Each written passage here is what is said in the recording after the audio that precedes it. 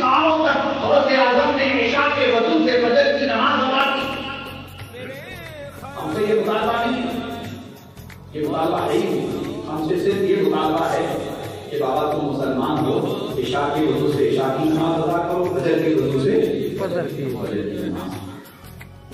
इस पहचान जलसे के ज़रिया ये पैगाम मैं आप तक पहुंचाना चाहता हूँ कि हम सच्चे सौसे आज़म के गुलाम उसी वक्त होंगे जब हम नमाज़ के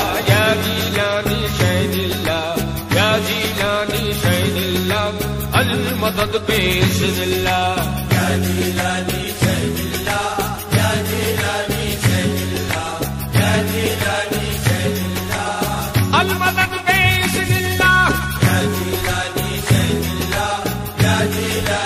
प्रॉब्लम्स हो या कोई बाहर पर्सनल प्रॉब्लम्स हो, इस्लाम एक ऐसा हमारा मज़हब है, इसमें अगर आप डीपली स्टडी करेंगे, हर प्रॉब्लम का इसमें हल मौजूद है।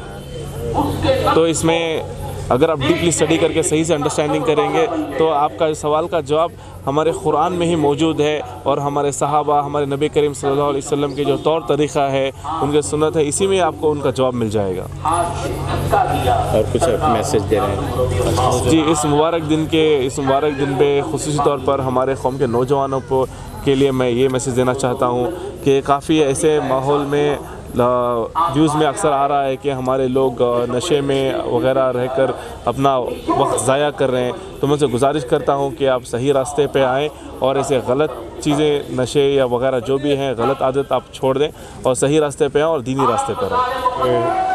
अल्लाह का एहसान है कि अल्लाह ताला ने मुझे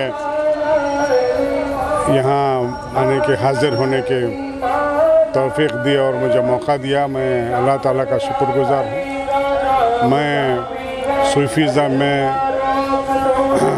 औलिया कराम में बड़ा अकीदा रखता हूँ।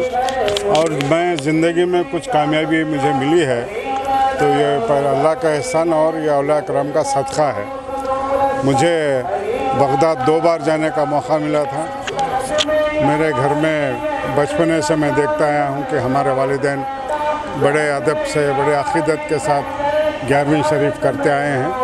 और मैं भी उसी रिवायत को क़ायम किया हूँ। हमेशा मेरे घर में भी गौसा हज़रत गौसल आज़म दस्तगीर, पिराने पीर, उनके नाम पे ग्यारहवीं शरीफ मेरे घर में भी होती है। ये बड़ी खुशी की बात है कि जुमा मस्जिद ट्रस्ट के ज़िम्मेदारों ने आज ये जलसा मुनद किया है। इससे मैंने कराम से गुजारिश की है कि जो परेशान हैं, आवाम जो परेशान हैं बिला मज़हब के, जो कौम और मज़हब के करोना तीन के जो ओमिक्रॉन से जो लोग परेशान हैं, लोगों में यह है कि क्या फिर लॉकडाउन होगा, फिर क्या तो फिर रात में नाइट कर्फ्यू होगा लॉकडाउन होगा। दुआ की है कि उनका खासकर हज़रत गौसल आज़म दस्तगुर से हम भीख मांगे, अल्लाह ताला से भीख मांगे कि अल्लाह ताला ये ओमिक्रॉन से आवाम को बचाए, ताकि पहले ही कोरोना वन और कोरोना दो से छोटा तबका बहुत कमज़ोर हो गया है, बहुत तकलीफ़ में आ गया है। अल्लाह ताला ये ओमिक्रॉन से तमाम को बचाए, यही मैं दुआ को हूँ